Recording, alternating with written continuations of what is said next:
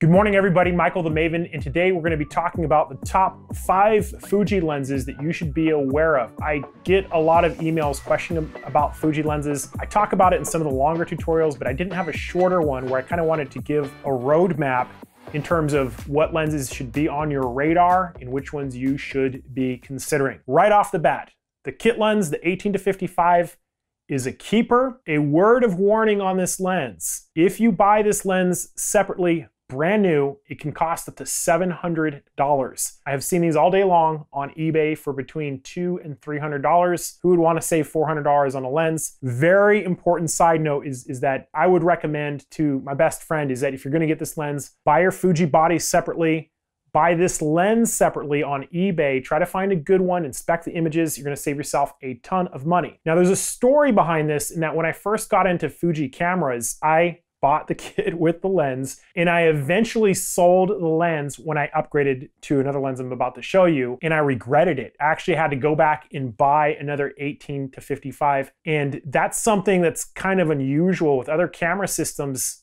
I don't really recommend keeping the kit lens. Fuji makes some outstanding lenses all, all across the board.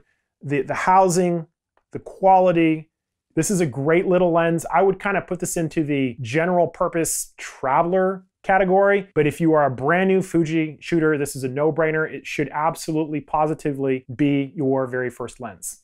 Now on the next four lenses, a lot of this is going to depend on the type of shooting that you're doing. And instead of me talking about the order you should buy them in, I am going to be making recommendations based on what they are going to be used for. If somebody put a gun to my head and said you could only have two Fuji lenses for the rest of your life, I would probably take the 18 to 55. In the second lens would be the 50 to 140 2.8. Obviously, this is more of an equivalent. And by the way, all APS-C Fuji lenses have a multiplication factor of 1.5. So if you have a 100 millimeter lens, it's going to behave as a 150 millimeter lens on a full frame camera. It's something important to consider. Now, the reason why I love this lens is because it gives you a nice mid-range zoom. It's going to allow you to do portraits. It's going to allow you to do closer sports types of photographies. And between those first two lenses, you're covering a huge amount of focal length range. The optical quality is outstanding. It's light, it has image stabilization. It's a wonderful, tremendous lens, and it's relatively more affordable than its full frame competitors. Uh, I did an epic shootout between the X-T30 and the Sony a6400, and that was something that became apparent to me very quickly is that Fuji lenses have a cost advantage in that they're designed for APS-C, they're smaller and they're lighter.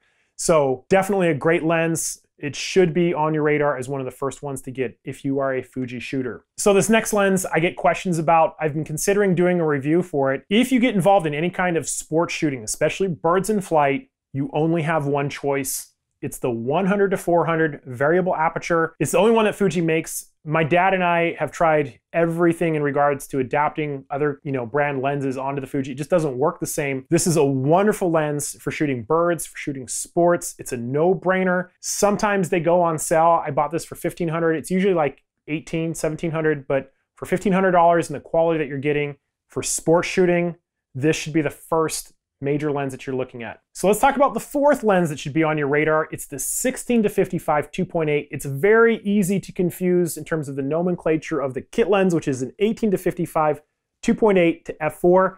These are very different lenses, different prices. The 16 to 55, if you are a video shooter, which I am doing mostly videos, 80% of the time I am using this lens. It is sharper, it opens up wider, it has fewer defects in terms of lens aberrations. It doesn't have optical image stabilization, but if you are a video shooter, it is an absolute must-have. Sometimes these go on sale as well. I think they're $1,100 without the sale, and we see them drop below $1,000. You can also get these used on eBay for about seven or $800. This is kind of one of those lenses where I say it's kind of better to buy on sale than to buy it used because it is a very high quality lens and spending that extra one to $200 is probably going to be worth it to buy it brand new. Your fifth lens selection, depending on how you shoot, should be either a wide angle lens or a prime lens. There are some great Fuji prime lenses. I kind of like the 56 1.2 because it's a portrait lens. I'm a portrait photographer. They make an outstanding 16 millimeter 1.4 and a 23 millimeter f2. If you're more of a street photographer, I think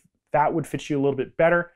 I've done a very detailed review on the wide angle lenses. So if you're doing a lot of landscape photography, I kind of like the 10 to 24 f4 more. It has uh, a threaded ring for filters. The 8 to 16 is amazing. It's just very expensive and you're not getting a lot more in terms of exposure. I did some tests demonstrating this. I think it's a little bit overpriced. I like the 10 to 24 a little bit more for landscape type photography shots. So keep in mind that when you are building your lens arsenal, it's very important to choose one at a time, test them out, shoot with it for a little while, find out what you like, find out what you don't like, and if it's not enough, then it would be time to you know look at, at a different lens. But what's going to happen is as you specialize, you are going to gravitate towards one or two of those first five lenses that I mentioned. They're gonna be kind of in your wheelhouse. Fuji has tons of great other primes, don't get me wrong, but those are the ones you should have on your radar as a beginner. If you're struggling with your Fuji camera, I have excellent tutorials on YouTube and advanced tutorials as well. Check out the links below. Thank you for watching, and I'll see you next time.